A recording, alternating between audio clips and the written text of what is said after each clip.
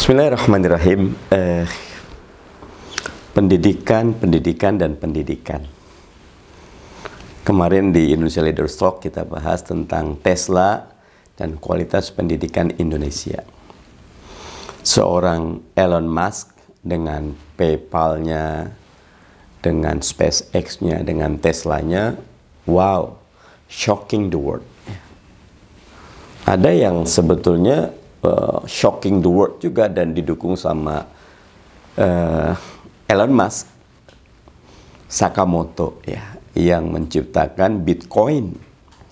Tapi Sakamoto ini nggak mau tampil, tetapi Bitcoinnya yang tadinya cuma nggak sampai satu juta, sekarang uh, hampir 700 juta rupiah satu Bitcoin nilainya.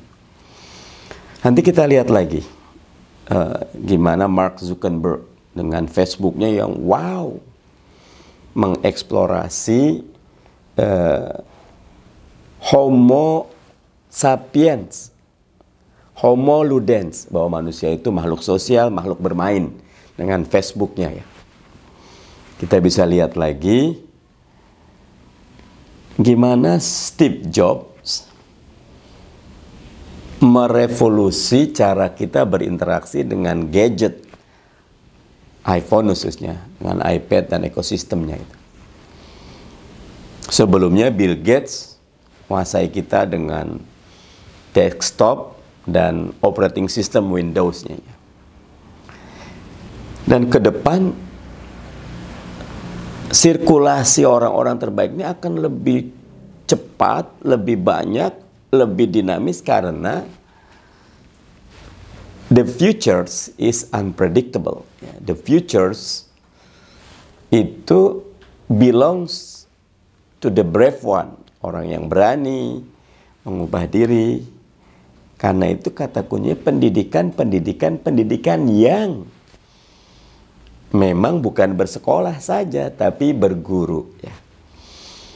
Menempatkan anak didik sebagai subjek, subjek, subjek dengan ditemani oleh ekosistem lingkungan ada mentor, ada coach, ada teacher, ada trainer. Gitu. Nah karena itu, ayo teman-teman perhatikan dan perhatian kepada pendidikan kita agar kita bisa mendapatkan yang terbaik untuk pendidikan, pendidikan, dan pendidikan. Kata pepatah Cina, kalau mau aman setahun, tanamlah padi. Kalau mau 10 tahun, tanamlah pohon, tapi mau ratusan tahun, tanamlah pendidikan, pendidikan, dan pendidikan. Ayo, majukan Indonesia dengan fokus kepada pendidikan. Saya Mardani Alisera.